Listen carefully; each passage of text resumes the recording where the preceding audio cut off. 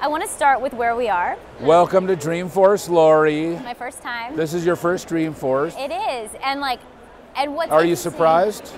Yeah, actually, to be honest with you, I am because really, really large tech conferences scare me, and there's something about What this. is the most exciting thing at this no, Dreamforce? we're doing. I'm doing the interview. um, well, I'll tell you this. What's interesting about you is we want to do the interview in like a quiet setting, and you are one of the few tech CEOs that I know who wants to be around people. Like I know that seems like a very like weird concept, but like a technologist, I love our community. This is like our my family, honestly. Salesforce has an ethos, and you have these things that you go back to that kind of studying you. I, I've learned a little bit about, and and one is you think we've entered the fourth industrial revolution. Um, this idea We that haven't. We have. We have entered the fourth industrial revolution. You're right. this idea that we are defined by connectivity. So I'm going to put on my ethics hat. We're all hat. connected, Laurie. I mean, uh, well, let me put on my, my ethics hat. I mean, so as we enter this brave new era where we're all connected, what do we have to be careful of? Who are the people that are going to be left behind? Well, the number one thing that in the fourth industrial revolution, and you know, we've had three industrial revolutions before this. We had the first revolution, steam, and then the second revolution of work, and the third revolution of computers. And here we are in the fourth revolution. And the fourth revolution is everything is connected. And if we already know everyone and everything is connected, but now every product is connected, everything is getting connected. And so it's a new world, but we're all going forward together into that world. Yeah, it's it's uncharted territory though, and and I, uh, having covered tech for all these years, I always worry as we enter this world and as we get more connected, who are going to be the people that miss out. So, as someone who thinks about this all the time, who are you worried about? I have a huge feeling of responsibility thinking about how do we practice inclusive capitalism? How do we bring everyone with us? How do we bring every race and every gender and every sexual orientation, every religion? How do we bring everybody into this new future with us? How do we leave nobody behind? And that's one of the huge themes of this conference. And um, we see and we're measuring the level of inclusiveness that we have. Capitalism, it seems to me, watching all of, and, and the time I've covered tech, it's like I like the band before the band got cool, right? You guys got cool, you became the billionaires. Now there's so much responsibility here. So as you kind of enter this new era, I mean, what are the, the main things you need to think about? What are the things that we need to be very, very careful, don't get lost in the mix? Well, I mean, that's one of the reasons we're focused on public schools. I mean, these kids in our public schools have got to come with us into this revolution.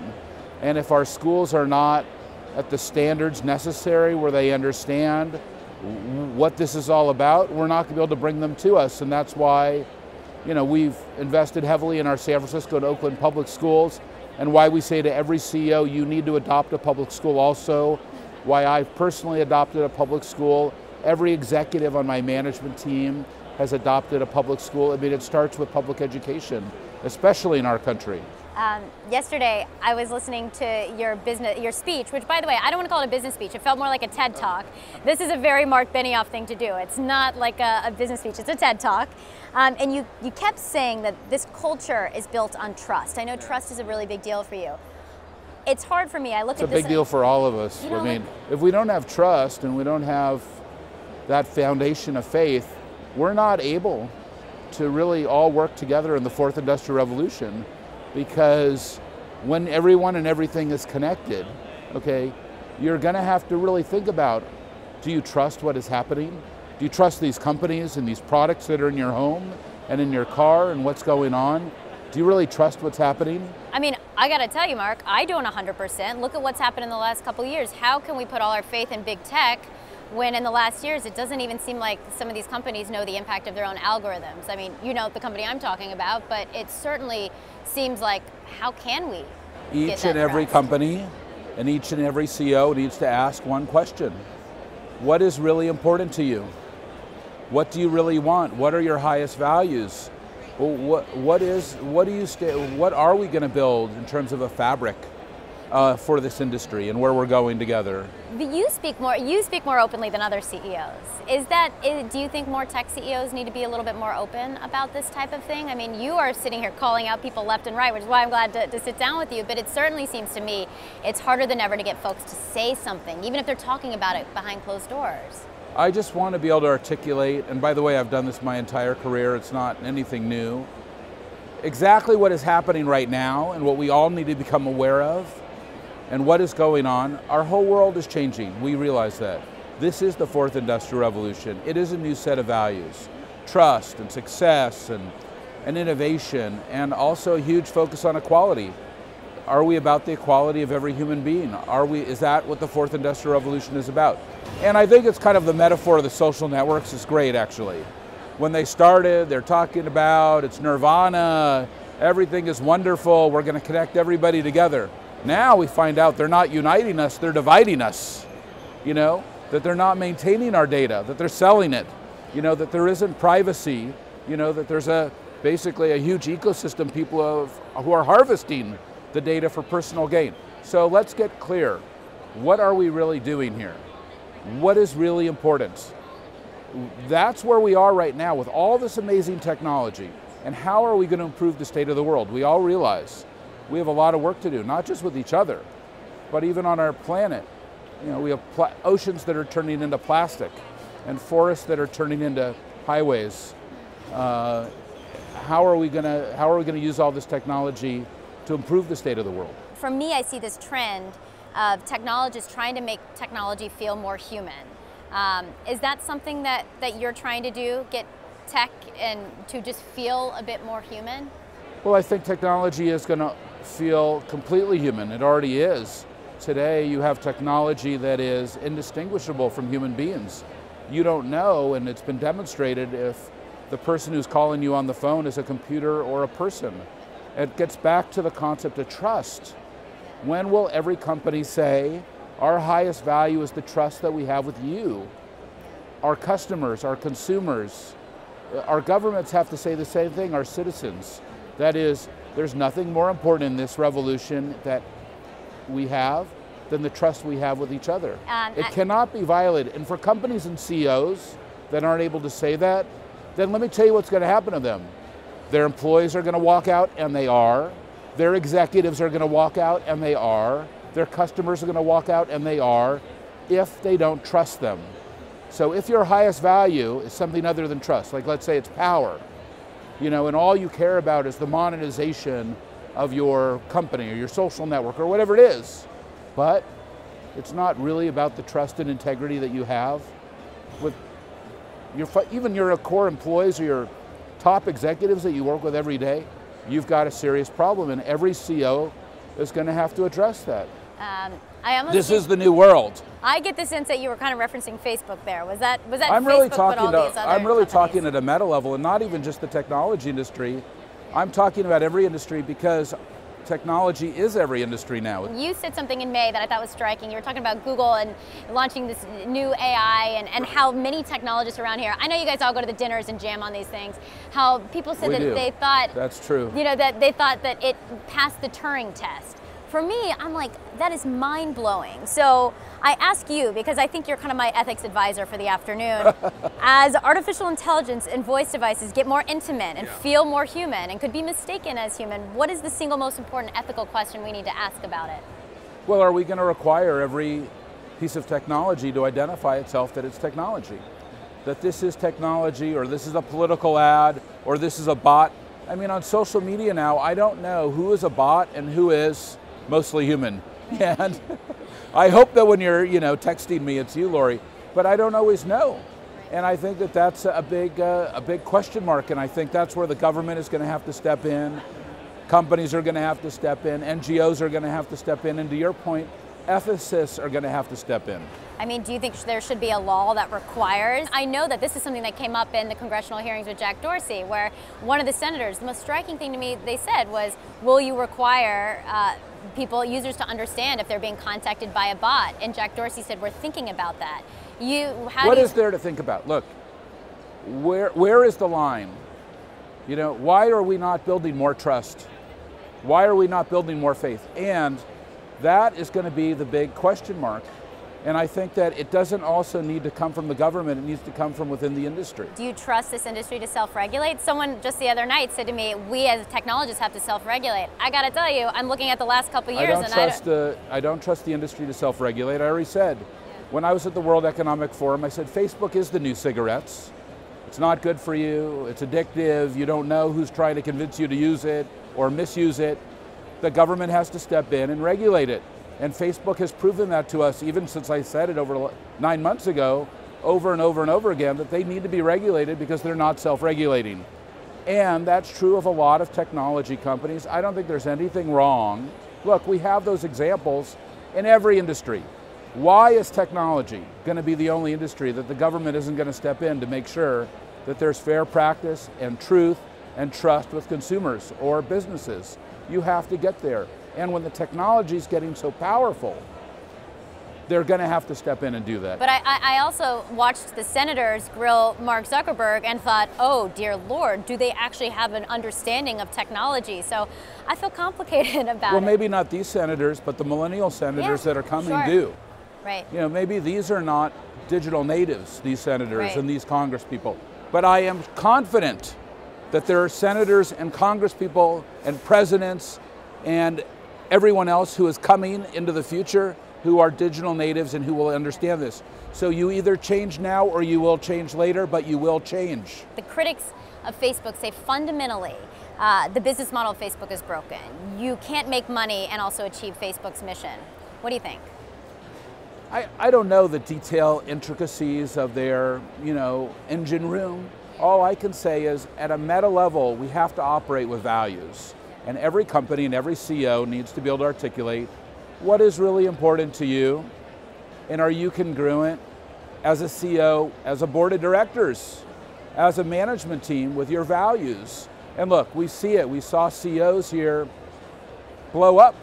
You know, great CEOs that we are all very excited. Not, i don't have to go through all the stories, but you've seen multiple CEOs who've had to leave their companies about three blocks from where this convention center is because there was a discretion, error, discretion issue on their values, starting with are they treating women correctly in their companies? How about right there?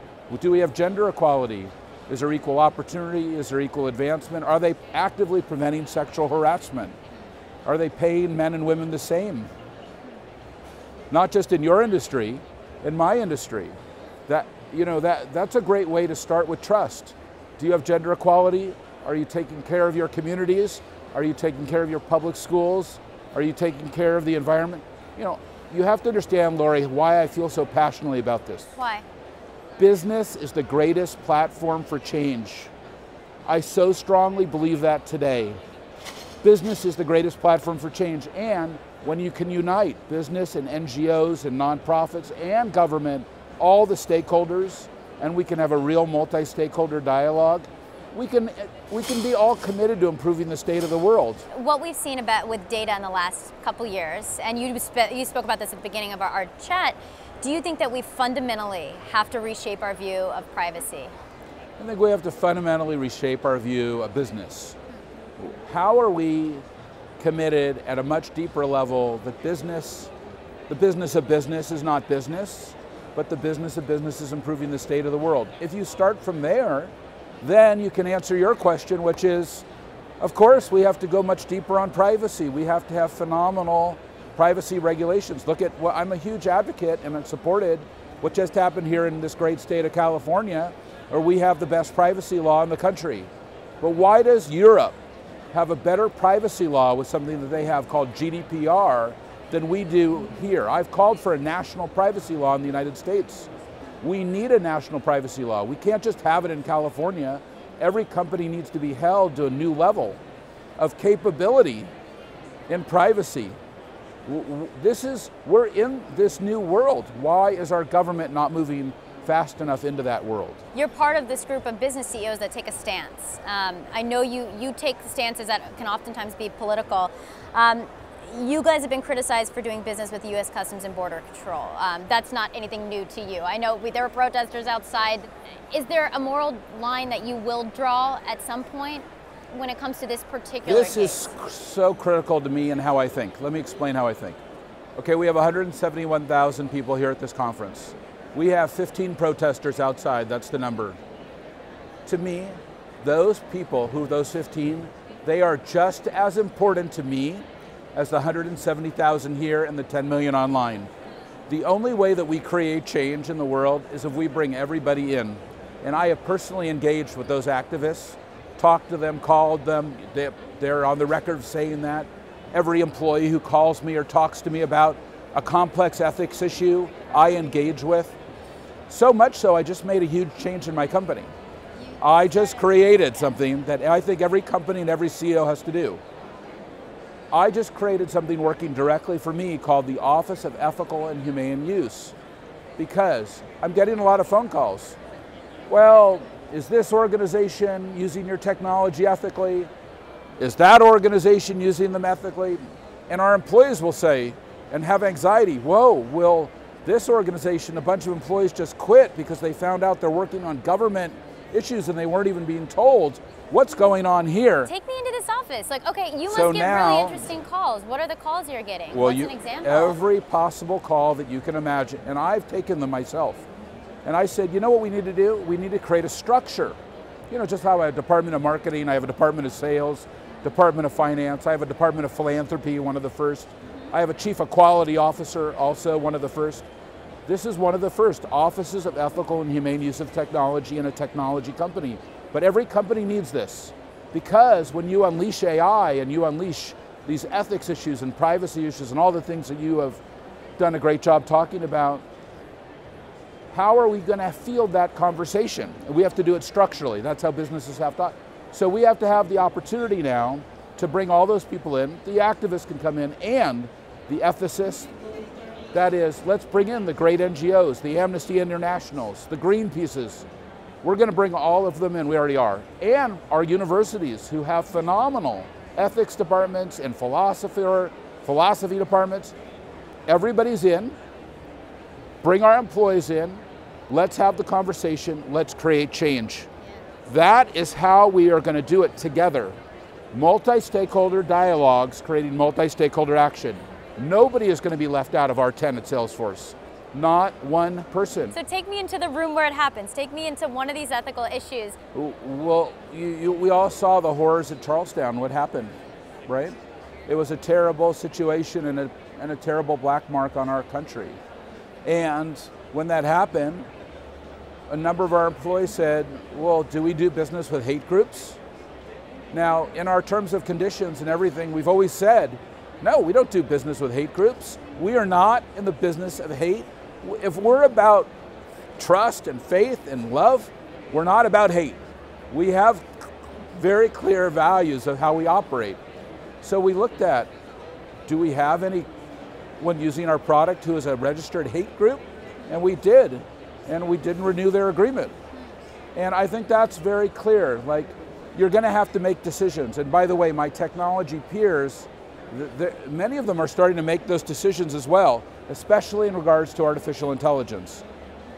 In artificial intelligence, it can be used in many, many ways. Laurie, technology is not good and it's not bad. Technology is not good and it's not bad. It's what you do with the technology that matters. It is a tool, just like every other tool human beings have created over centuries, okay? But we're gonna have to make a decision, okay? How are we gonna use this tool? Because it can be used in any direction, especially the new technologies, not just the information technologies. This is also true of the biotechnologies. Those are in the fourth industrial revolution as well. This is, covers them all. When you think about artificial intelligence, I know Elon Musk has his whole thing on how he's so scared he's gonna, you know, it could take over the world. What is the thing keeping you, specifically with AI, what keeps you up at night? What is the thing that if we do not get on top of this, we're all in a lot of trouble? Nothing keeps me up at night because I actually have tremendous faith that we're going to work all, that this is all going to work out and that we're going to use the technology in a positive way.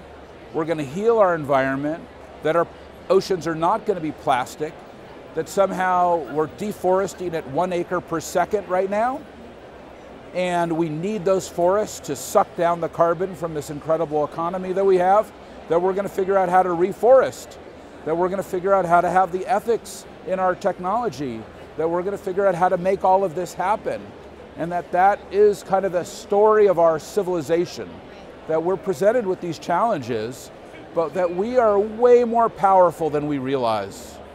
And because we are more connected now than ever, that we can use our power and our connectivity and these technologies to create a more a more just world and a healthier world and, a, and also a healthier planet. You and your wife recently uh, bought Time Magazine. So take me into the head of Marc Benioff. Is it, you can say yes, no, is it legacy? Is it fear that people like me are going to cease to exist? Is it responsibility? What, what, if you could define it, what would it be? Well, I mean, for me, I have my own values, and, and you know, I have my spiritual values. I am deeply, you know, connected to things that matter to me.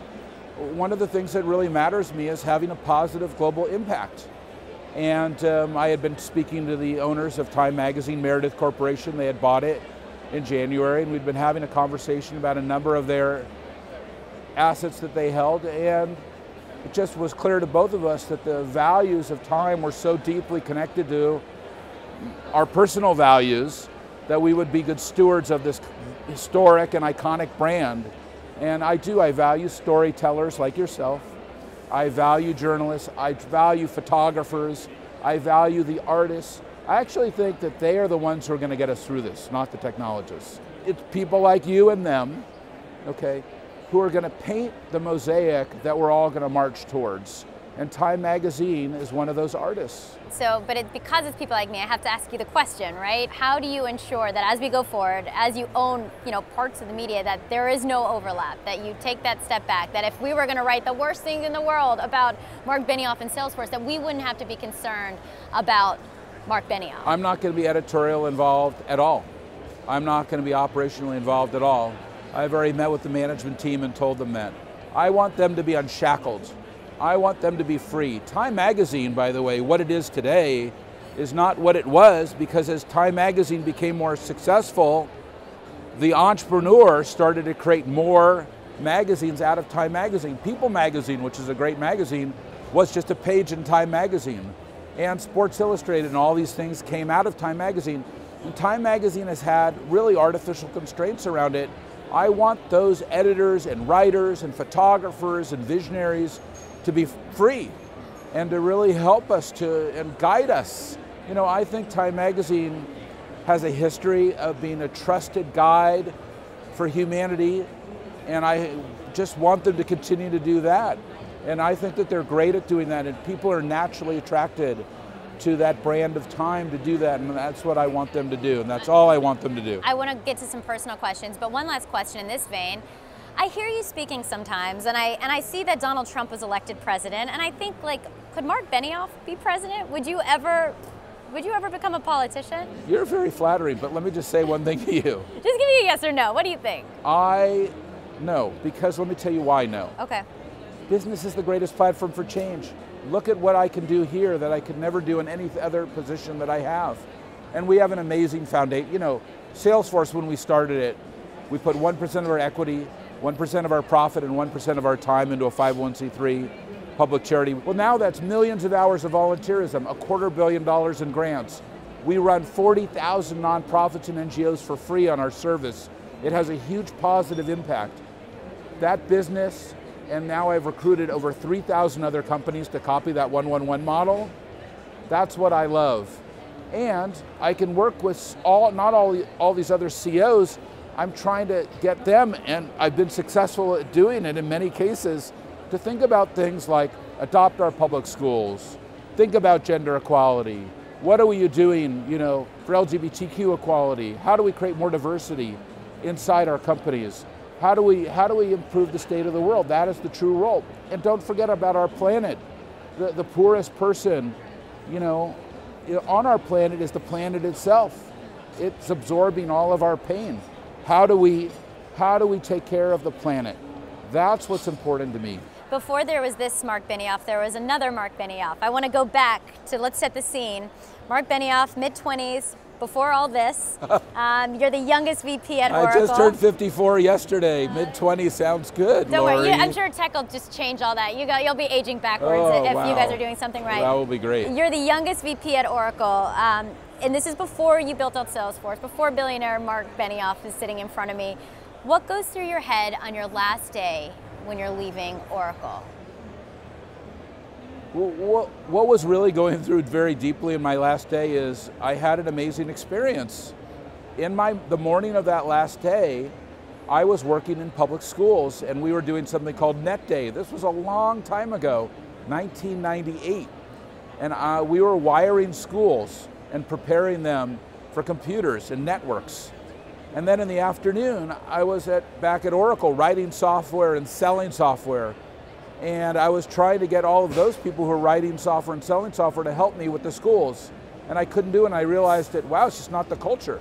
And I'm like, if I could do one thing when I start Salesforce, I want to bring these two things together. I want to integrate them so that I could have a business that does well and does good at the same time. That was my number one goal when I started the company. But were you afraid? Because I think so many times it's so easy to look back in the rearview mirror and say, I did this, you know, this made sense. But when you're going through that messy middle, as Scott Belsky likes to call this, it's really hard. I mean, were you were you nervous that you were walking away from this rocket ship? How did you deal with that? Every day, I start my day with mindfulness and meditation, and we do that even at Salesforce. Every floor of every office building we have worldwide, there's a mindfulness room. The reason why is we're more connected than ever, you know that. We're all on our phones, including me, and social media and email. I know that more than ever because of Apple's new operating system now tells me my screen time. Amazing. And let me tell you something, Laurie. Every day, I do my best, and I'm not perfect. Take 30 minutes in the morning to do some mindfulness, clear my head, and try to regain my beginner's mind. That is, let go of the stress, let go of the anxiety, let go of what is bothering you, let go of everything that is happening right now, and just come back to the present moment come back to right now, in the now, coming back to my breath. It's hard as a CEO. And then, and then in that moment, I want to know, do I have a beginner's mind? Am I looking at everything from the beginning? And, and then as I was coming down to the end of my career at Oracle and getting ready to start Salesforce, I heard a consistent voice in my head when I got to the beginner's mind. Time to start your own company. You need to do it now. And I always then will check in with you know my family and my key friends and other advisors and say, is this really the time? And then I'll say, yeah. And then I did it. So, and I have trust in myself. And I know many people do. That's they hard, faith, though. and That's, then you take the leap. Having trust in yourself isn't exactly the easiest thing. You say it with such gravitas, but but a lot of people don't, and that's really difficult. well, I went in and I saw my father, and I said, he's, he's no longer alive, and amazing person, had a huge impact on my life, and one of my key mentors, and just loved him with all my heart and soul. And I said, Dad, I found it inside myself. I'm going to leave Oracle. It, I've got the vision for Salesforce, for the cloud, 111. It's going to be amazing. What did Dad say? Marc, do not do this. Are you crazy? You have a great job. You have an amazing office. You work for this incredible person. You're having a huge impact for the world. Why would you even consider? He was a child of the Depression. He had seen the worst of the worst. And he told me, no, don't do it. And I said, Dad, I've got faith in myself. I need to do this. And then he said, okay, go for it. And he did. So, and I did, and here we are. Um, and we have, we have this great, we have this great company, and it's been so so powerful. everything about you is larger than life. I mean, even being in here, there's like a, I, I'm having trouble looking at you because there's a gigantic built-in tree behind you. You're arguably one of the most successful entrepreneurs in the world.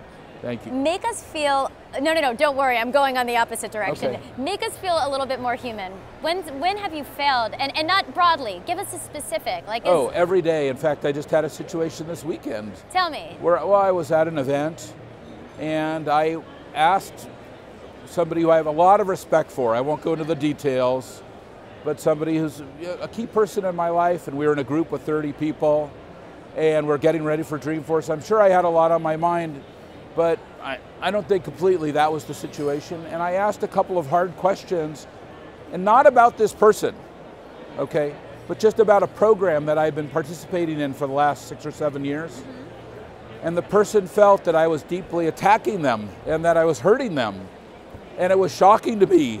And they sent me this ter- horrible email afterwards. Why are you attacking me? Are you a terrible person? And I immediately called the person and said, I'm so sorry. You, forgive me. I didn't realize that I, what I, and that's one of my failings is that sometimes with that largesse and that big personality that when I'm with others, I can say something and I don't realize, you know, that, you know, I can impact them not just in a positive way, but potentially in a negative way. And I have to fall on my sword way more than you realize. I have to say, I'm sorry, forgive me, I made a mistake. I, I, and I, by the way, that is something that happens on a regular and consistent basis. And I just, you know, and I look for it so I know, and I'm happy that, by the way, that this person could tell me that because the most troubling time is when they'll tell me maybe years later, why were you attacked? No, no, I'm sorry.